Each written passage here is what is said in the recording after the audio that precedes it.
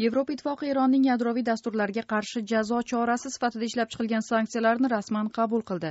Bugun bryusselda ittifoqqa a'zo yigirma yetti davlat tashqi ishlar vazirlari ma'qullagan jazo choralari orasida diplomatlar bergan ma'lumotlarga ko'ra neft xomashyosi va neft mahsulotlari xususidagi shartnomalarni imzolamaslik ko'zda tutilgan.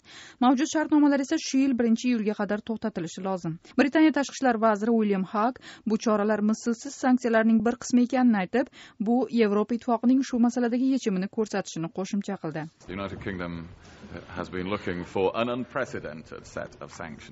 buyuk britaniya mislsiz jazo choralarini qo'llash yo'llarini qidirayotgan edi va shu bois biz tashqi ishlar kengashi qarorini ma'qulladik dedi jumladan uilyam hak ayni kezda yevropa ittifoqi eron dunyoga sotadigan neftning beshdan birini xarid qiladi. Yevropa ittifoqi vazirlari tez orada eron markaziy bankiga nisbatan ham cheklovchi choralarni qabul qilishi aytilmoqda. Ittifoqning tashqi siyosat masalalariga mas'ul rahbari katrin eshton bunday keskin choralardan maqsad hanuz eronni muzokaralar stoliga qaytarish ekanini yana bir karra urg'uladi. We will be uh, discussing and finalizing additional sanctions particularly focused on the central bank biz eronning markaziy banki va neft eksportiga oid yana qo'shimcha jazo choralarini muhokama qilamiz.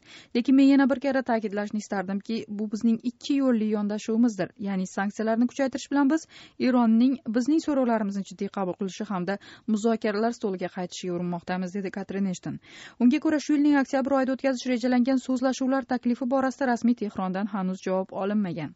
Germaniya tashqi ishlar vaziri guido vestervelliga ko'ra eronning tobora rivojlantirib borayotgan yadroviy tadqiqotlardan tug'ilgan havo xavotir nafaqat mintaqa xavfsizligi balki dunyo xavfsizligiga daxldor edi. Eron o'z yadroviy dasturi mutlaqo tinch maqsadlarni ko'zlashini aytib keladi. Biroq g'arb davlatlari buning ortida atom quroli yaratish maqsadi turganidan xavotir qilmoqda. Ayni kezda yevropa ittifoqi va aqsh osiyo davlatlarini erondan sotib olayotgan neft mahsulotlari hajmini kamaytirishga ham undab kelmoqda. Bunga qadar tehron agar yangi sanksiyalar qo'llangan taqdirda dunyodagi jami neft eksportining yigirma foizi olib o'tiladigan hormuz bo'g'ozini yopishini aytib tahdid qilgan. Aqsh esa o'z navbatida bu yo'lning ochiq qolishi uchun hamma choralarni ko'rajagidan ogohlantirgan.